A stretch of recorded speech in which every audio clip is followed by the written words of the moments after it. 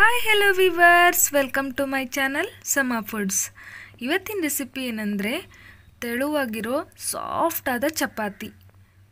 ತುಂಬಾ ಸಾಫ್ಟಾಗಿ ಇರುತ್ತೆ. ಈ ಚಪಾತಿ ಮಾವಿನ ಹಣ್ಣಿನ ಶ್ರೀಕರ್ಣಿ ಜೊತೆ ತುಂಬಾ ಚೆನ್ನಾಗಿರುತ್ತೆ. ಹಾಗಿದ್ರೆ ಈ ಸೂಪರ್ ಸಾಫ್ಟ್ ಚಪಾತಿನ ಹೇಗೆ ಮಾಡೋದು ಅಂತ ನೋಡೋಣವಾ? ಅದಕ್ಕೂ ಮುಂಚೆ ನೀವಿನ್ನೂ ನಮ್ಮ ಚಾನಲ್ನ ಸಬ್ಸ್ಕ್ರೈಬ್ ಮಾಡದೆ ಈ ವಿಡಿಯೋ ನೋಡ್ತಾ ಇದ್ದರೆ ಪ್ಲೀಸ್ ಸಬ್ಸ್ಕ್ರೈಬ್ ಮಾಡಿ ಆಲ್ ಅಂತ ಟ್ಯಾಪ್ ಮಾಡಿ. ಹಾಗೆ ವಿಡಿಯೋ ಇಷ್ಟ ಆದರೆ ಒಂದು ಲೈಕ್ ಮಾಡಿ. ಮೊದಲಿಗೆ ನಾನಿಲ್ಲಿ ಒಂದು ಪಾತ್ರೆಯಲ್ಲಿ ಗೋಧಿ ಹಿಟ್ಟನ್ನು ಚೆನ್ನಾಗಿ ಜರಡಿ ಹಿಡಿದು ತೊಗೊಂಡಿದ್ದೀನಿ.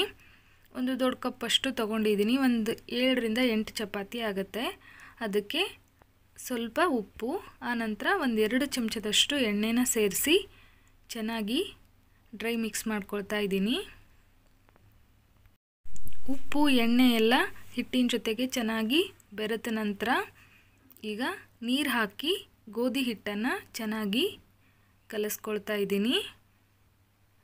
ನೋಡಿ, ಹಿಟ್ಟನ್ನು ಚೆನ್ನಾಗಿ ಪದೇ ಪದೇ ಒಂದು ಎರಡು ಮೂರು ನಿಮಿಷ ಮಿಜ್ಜಿ ಈ ಥರ ರೆಡಿ ಮಾಡಿಕೊಂಡೆ. ಇದನ್ನು ಇವಾಗ ಮೇಲ್ಗಡೆ ಒಂದು ಪ್ಲೇಟನ್ನು ಮುಚ್ಚಿ ಒಂದು ಹದಿನೈದರಿಂದ ಇಪ್ಪತ್ತು ನಿಮಿಷ ಹಾಗೆ ನೆನೆಯೋದಕ್ಕೆ ಬಿಟ್ಬಿಟ್ಟೆ.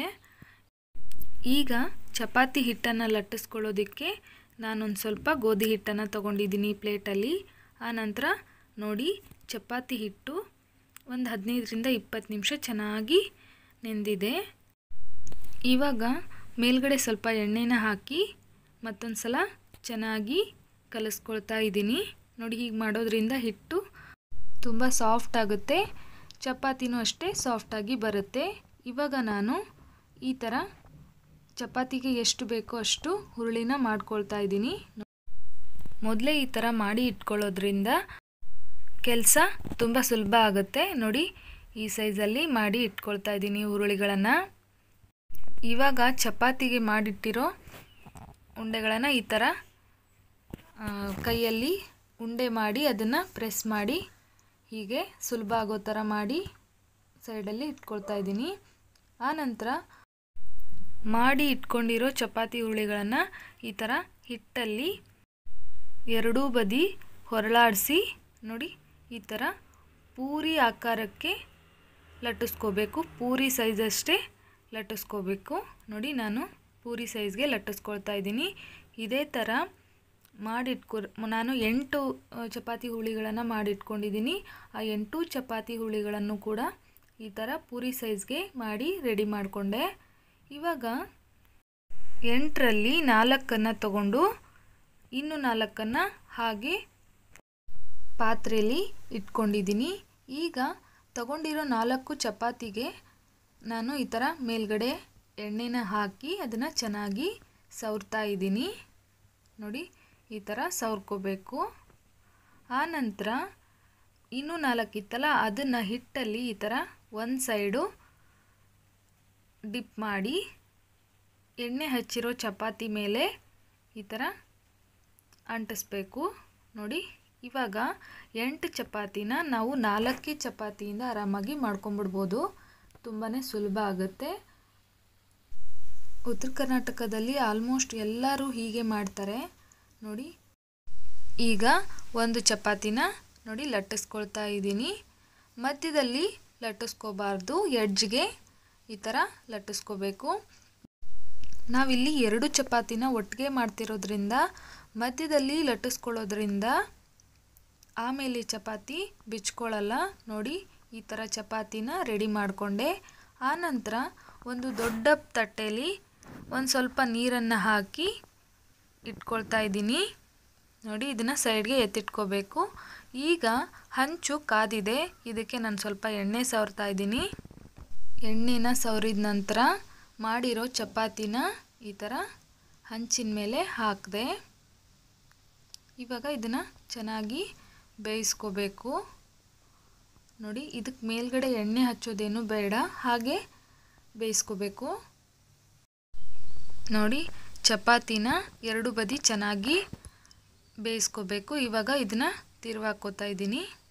ನೋಡಿ, ಚಪಾತಿ ಎಷ್ಟು ಚೆನ್ನಾಗಿ ಬಂದಿದೆ. ನೋಡಿ, ಇವಾಗ ಮತ್ತೊಂದು ಸಲ ಬೇಯಿಸ್ಕೊಳ್ತಾ ಇದ್ದೀನಿ. ನಾವು ಎರಡು ಎರಡು ಚಪಾತಿನ ಈ ಥರ ಅಂಟಿಸಿ ಮಾಡ್ತಿರೋದ್ರಿಂದ ನೋಡಿ ಅದು ಉಬ್ತಾ ಇಲ್ಲ, ಯಾಕಂದರೆ ಅದು ಫುಲ್ ಓಪನ್ ಆಗಿಬಿಟ್ಟಿದೆ. ಇವಾಗ ತೆಗೆದ್ರೆ ಎರಡು ಚಪಾತಿ ಸಪ್ರೇಟ್ ಆಗಿಬಿಡುತ್ತೆ. ಗೊತ್ತಾಗ್ತಾ ಇರ್ಬೋದು ನಿಮಗೆ. ನೋಡಿ, ಈ ಥರ ಚೆನ್ನಾಗಿ ಎರಡೂ ಬದಿಗೆ ಚಪಾತಿನ ಬೇಯಿಸ್ಕೊಂಡ ನಂತರ ಈ ಥರ ತೆಗೆದು ಆಗಲೇ ತಟ್ಟೆಯಲ್ಲಿ ನೀರನ್ನು ಹಾಕಿ ರೆಡಿ ಮಾಡಿಟ್ಕೊಂಡಿದ್ವಲ್ಲ, ಅದಕ್ಕೆ ಚಪಾತಿನ ನೋಡಿ ಎರಡೂ ಬದಿ ಈ ಸೈಡು ಬಿಸಿ ಬಿಸಿಯಾಗಿರೋ ಚಪಾತಿನ ಈ ಥರ ಅದ್ದಿ ಒಂದೊಂದೇ ಸೆಕೆಂಡು ಎರಡು ಸೆಕೆಂಡಲ್ಲಿ ಮುಗಿದ್ಬಿಡಬೇಕು ಈ ಥರ ನೀರಲ್ಲಿ ಅದ್ದಿರೋ ಚಪಾತಿನ ಆ ಥರ ಚೊಂಬು ಅಥವಾ ಬೇರೆ ಯಾವುದಾದ್ರೂ ವಸ್ತು ಮೇಲೆ ಹಾರಾಕ್ಬಿಡಬೇಕು ಇವಾಗ ನೋಡಿ, ಇದೇ ಥರ ನೀರಲ್ಲಿ ಅದ್ದಿ ಮಾಡಿರೋ ಚಪಾತಿನ ಈ ಥರ ಓಪನ್ ಮಾಡಿ ತೋರಿಸ್ತಾ ಇದ್ದೀನಿ. ಎಷ್ಟು ಸಾಫ್ಟಾಗಿ ಬಂದಿದೆ ಅಂತ ಗೊತ್ತಾಗ್ತಿರ್ಬೋದು. ತುಂಬಾ ಸಾಫ್ಟಾಗಿ ಬರುತ್ತೆ. ನೀರಲ್ಲಿ ಅದ್ದೋದ್ರಿಂದ ಒಂಥರ ಆಗಲ್ವ ಚಪಾತಿ ಅಂತ ಕೇಳ್ಬೋದು.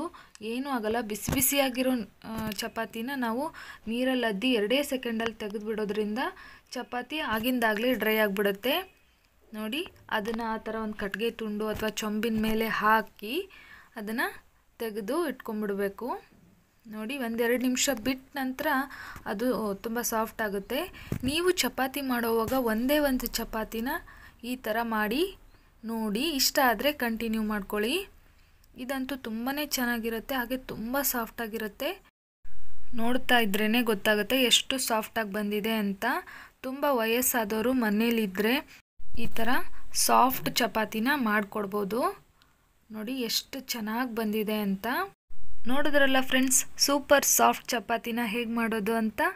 ಈ ವಿಡಿಯೋ ನಿಮ್ಮೆಲ್ಲರಿಗೂ ತುಂಬಾ ಇಷ್ಟ ಆಯಿತು ಅಂತ ಭಾವಿಸ್ತೀನಿ. ಇಷ್ಟ ಆದರೆ ಪ್ಲೀಸ್ ನಮ್ಮ ಚಾನಲ್ನ ಸಬ್ಸ್ಕ್ರೈಬ್ ಮಾಡಿ ಸಪೋರ್ಟ್ ಮಾಡಿ. ಮತ್ತೆ ಮುಂದಿನ ವಿಡಿಯೋದಲ್ಲಿ ಹೊಸ ರೆಸಿಪಿ ಜೊತೆ ಸಿಗ್ತೀನಿ. ಅಲ್ಲಿವರೆಗೂ ಕಾಯ್ತಾ ಇರಿ. Bye thank you for watching